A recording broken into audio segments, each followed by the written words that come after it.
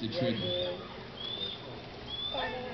The trebuchet's now live. He steps up and quickly checks over the machine again. He makes sure that every rope is in the right place and that every piece of wood is secure. Because, ladies and gentlemen, this is 22 tons. 22 tons of whirling depth. If this thing goes wrong, our trebuchet master will be